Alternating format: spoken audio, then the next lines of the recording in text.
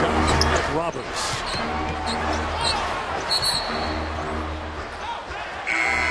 Oh, and they got to get separated.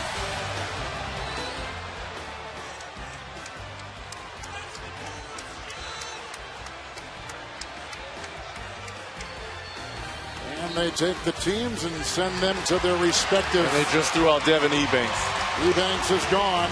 Technical foul. Not the technical. Ebanks has been thrown out.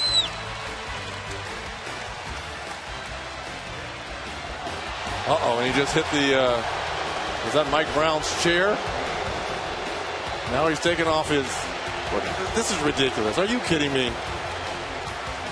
Seriously.